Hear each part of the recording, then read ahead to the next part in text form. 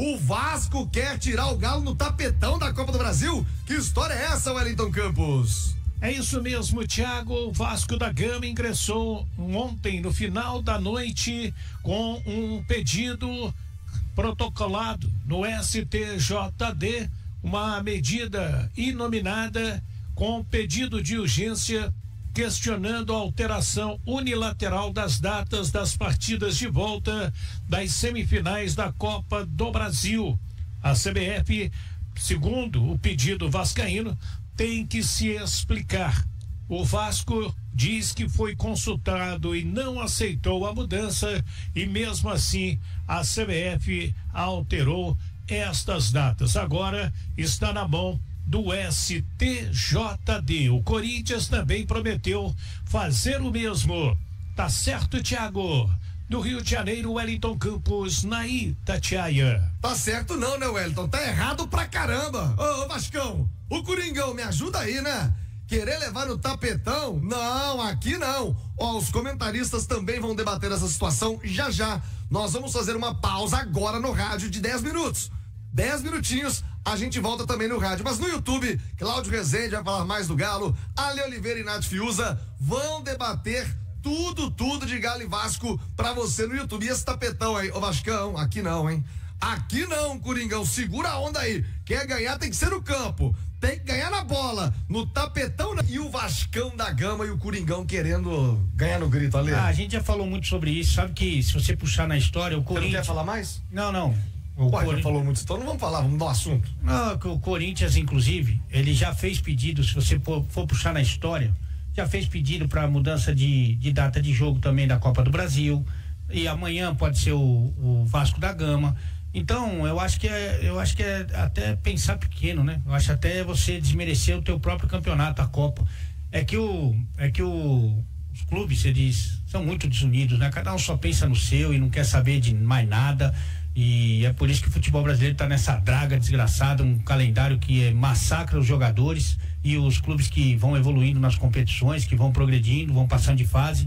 Ah, o futebol brasileiro é, é isso aí. Thiago, Eu esperava mais do Pedrinho, confesso a você. E não muda nada, né? Pro Vasco e pro Inter e pro Corinthians não muda nada. Explica, explica pra quem é. tá aqui. Já são quase 6 mil pessoas Sim. com a gente. Deixar o like, hein, rapaziada. Dá uma moral aí, deixa o like. Se não tiver like, tem tapetão. Cláudio, o é. que, que o Corinthians e o Vasco querem? Eles querem que os jogos de volta da Copa do Brasil, jogos de ida são essa semana agora, né? Jogos de volta, que eles permaneçam no meio de semana, dias 16 e 17, porque os adversários do Vasco é o Atlético e do Corinthians é o Flamengo, eles possivelmente teriam jogadores ou muito cansados ou nem chegariam a tempo para jogar.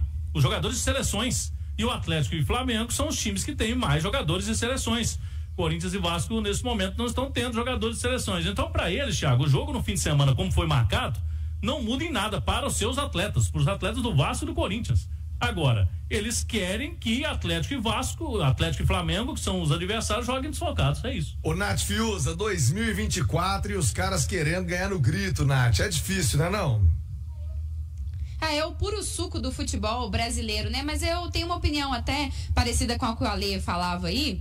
Eu esperava um pouco mais do Pedrinho, assim, faz parte de uma nova geração, um novo momento, né?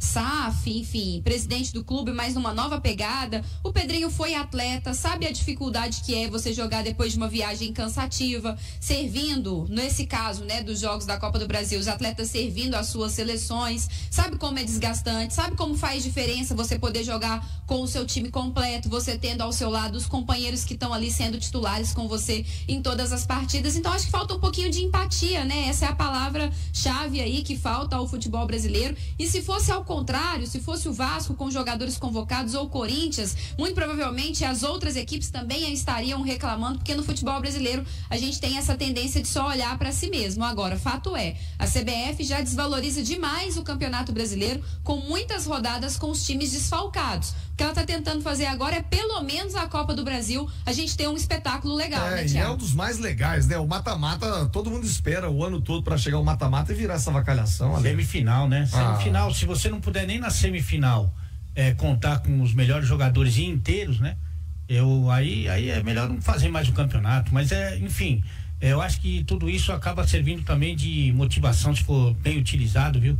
Eu, não- eu tô muito otimista para falar bem da verdade. Não sei se você tá nesse espírito, mas tô muito otimista para que o Atlético faça um resultado. Deixa eu te falar, isso parece até desespero do É, Vasco e do Corinthians. é. Se colocar no papelzinho mesmo, na boa, jogar 10 vezes Vasco Corinthians, o Atlético vai ganhar 7, o Vasco vai ganhar uma e eles vão empatar É, duas. o, o Atlético e Vasco, né? E o, e o Corinthians e o Flamengo. A conta vale também pro Corinthians e Mas é, eu Flamengo. também acho. E eu acho que o Atlético tem tudo, mas tudo para fazer um resultado definitivo. Sabe? Sabe aqueles definitivos? Liquidar aqui 2x0, Você, o, o Vasco, você quer jogar quando aí o próximo? Quer jogar no.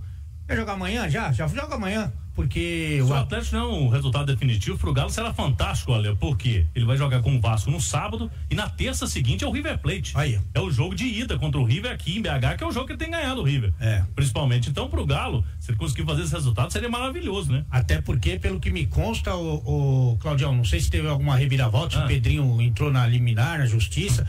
O Vasco não está na semifinal da Libertadores, né? Não tá, Não não. tá, não tá.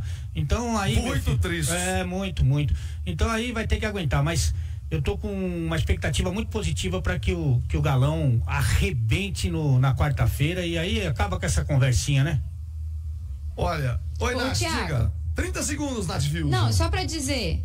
Tá bom. E só pra dizer também que se a gente for fazer um comparativo aí, em especial do que aconteceu nessa última semana, ninguém chega tão fortalecido nessa Copa do Brasil como o Atlético, né? Flamengo trocando treinador, eliminado, enfim. Acho que o Atlético é um grande favorito, é quem joga o melhor futebol dos quatro até